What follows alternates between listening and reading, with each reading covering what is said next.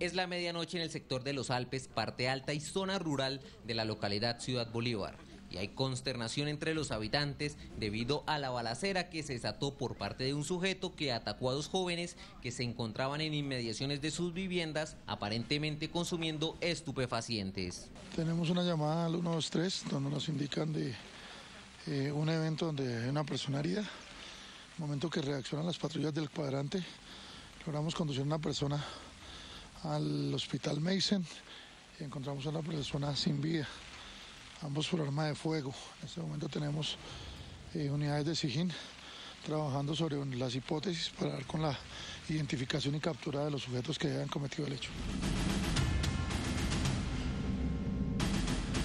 El ataque en contra de estas dos personas se habría originado por temas de microtráfico y estupefacientes. Como nos encontramos en la zona alta de Ciudad Bolívar, eh, tenemos la hipótesis de que se presume que es por eh, microtráfico.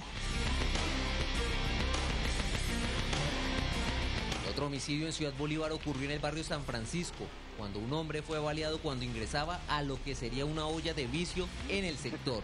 Situación que se está investigando, ya que en el lugar hay fuertes operativos por parte de la policía en contra del microtráfico. Bien, estamos verificando de quién se trata la víctima.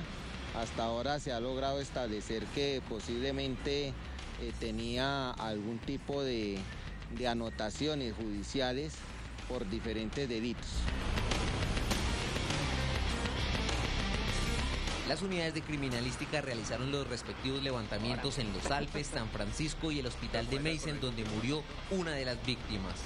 Las otras dos muertes violentas se presentaron en Suba y en Rafael Uribe Uribe, donde ya hay un indiciado por el hecho.